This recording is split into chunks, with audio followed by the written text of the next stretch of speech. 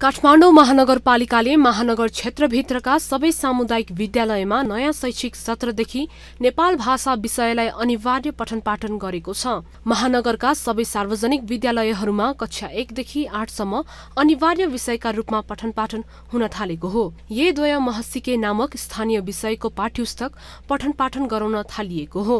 महानगरभित्र स्थानीय भाषाको रूपमा नेपाल भाषा चाहिँ अब त्यो अब संविधानले पनि अब यो नियमावलीले पनि दिएको कुरा भयो होइन?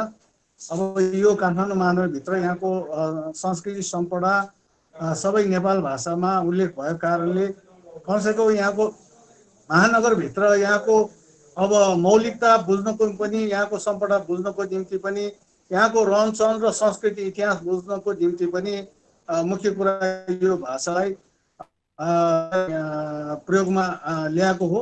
संविधानले सबै भाषाको प्रवर्धनको अधिकार दिएको छ। स्थानीय सरकार सञ्चालन ऐन दुई हजार चौहत्तरले स्थानीय भाषा संस्कृतिको संरक्षण र प्रवर्धनको अधिकार दायित्व र जिम्मेवारी पनि दिएको छ। त्यसै अनुरूप काठमाडौँ महानगरले नेपाल भाषाको प्रवर्धन गर्न भाषागत पठन पाठन अनिवार्य गरेको हुनुपर्छ।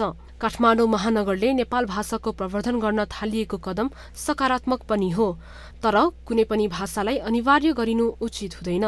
कुन भाषा सिक्ने भन्ने हरेक नागरिकले छनौट गर्न पाउनुपर्छ।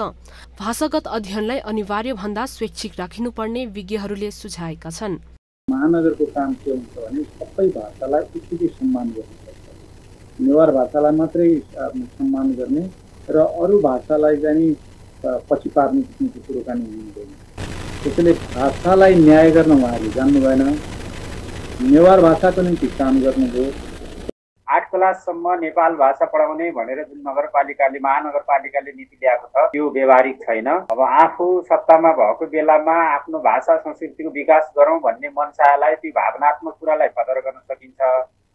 तर रुचि नभएका भाषाप्रति ज्ञान नभएका त्यसमा आवश्यकता पनि नभएकोले समय फेर फाल्नु विद्यार्थीलाई बाध्य पार्नु बालबालिकालाई बाध्य पार्नु राम्रो होइन। काठमाडौँ महानगरभित्र बयानब्बे सामुदायिक विद्यालयहरू रहेका छन्। महानगरको तथ्याङ्क अनुसार ती विद्यालयहरूमा करिब छब्बिस हजार विद्यार्थी अध्ययनरत छन्। अधिकांश विद्यालयमा नेवार लगायत अन्य समुदायका विद्यार्थीहरूले पनि अध्ययन गर्दै आएका छन्। नेपालमा कुल एक सय एकतिस भाषाहरू अस्तित्वमा छन्।